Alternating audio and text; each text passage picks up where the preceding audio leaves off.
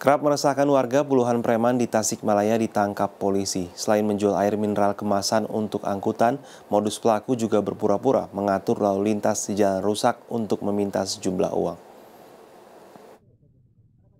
Antisipasi kejahatan jalanan, anggota Sabhara dan Satreskrim Polres Tasikmalaya menggelar razia preman selasa siang. Polisi menyisir lima kecamatan mulai Tanjung Jaya, Sukaraja, Cikatomas, Salopa hingga Cipatujah. Kedatangan polisi membuat kaget preman yang tengah mangkal hingga sebagian sembunyi di perumahan warga.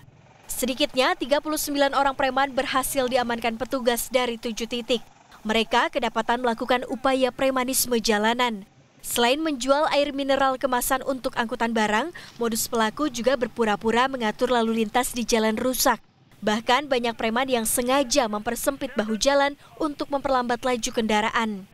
Mereka kemudian meminta sejumlah uang terhadap pengendara yang melintas. Hal ini dianggap meresahkan warga, terutama pengendara yang melintas.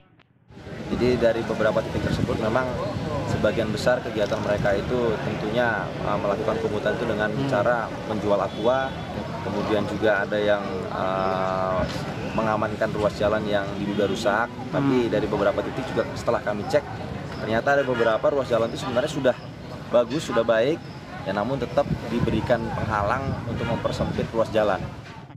Setiap hari masing-masing preman ini mampu meraup untung Rp30.000 hingga Rp70.000. Meski sempat berusaha menolak, namun preman ini tetap diangkut polisi. Sejumlah barang bukti berupa uang hingga sepeda motor diamankan.